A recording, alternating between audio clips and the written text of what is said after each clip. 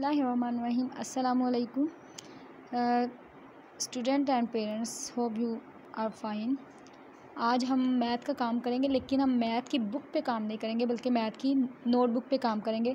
तो इस वक्त मेरे पास नोटबुक तो नहीं है, लेकिन मैंने पेज रेडी किया हुआ है।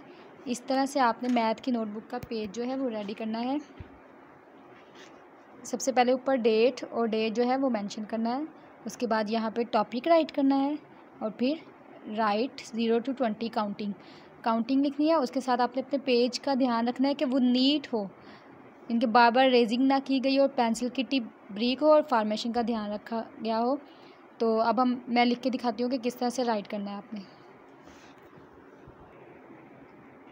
तो यहाँ पे मैंने काउंटिंग राइट कर दी है, लेकिन मैं आपको साथ ये भी बता देती हूँ कि किस लेटर, नंबर को किस तरह से राइट करना है। सबसे पहले ज़ीरो है, ज़ीरो को ज़्यादा खुला नहीं बनाना नॉर्मल बनाना है और ये वाली साइड वाली लाइन इसकी स्ट्रेट होनी चाहिए। One two three four four को बिल्कुल साथ नहीं जोड़ना, थोड़ा सा ये वाली लाइन को लंबा बनाना है। फाइव सिक्स की बैली ज़्यादा छोटी ना हो, ज़रा बड़ी बनानी है, इस तरह नहीं होनी चाहिए। थोड़ी सी मोटी होनी चाहिए।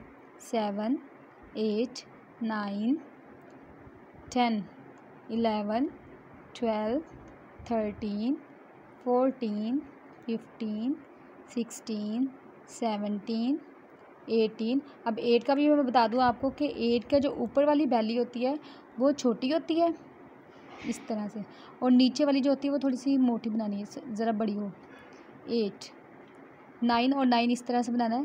पहले बच्चे को बोले, स्ट्रेट वन बना ले, उसके बाद थोड़ा सा इधर से राउंड बेस।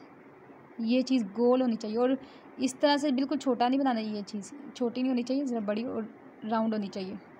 Nineteen, twenty. इसके बाद आप सर्कल से ही शुरू कर लें।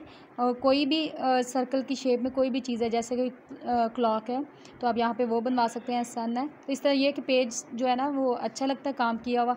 कलरिंग का इस्तेमाल करें और बच्चों को ये डेली जब भी आप नोटबुक पे काम करवाएँ तो कोई एक आध शेप जो है, वो उसको ज़रूर बनवाएँ, ताकि बच्चों की जो, बच्चों की पहचान जो है, शेप शेप में वो अच्छी हो सके। इस तरह से आपने पेज को सॉल्व करवाना है और राइटिंग जो है वो नीट होनी चाहिए, फॉर्मेशन के मुताबिक होनी चाहिए। Thank you.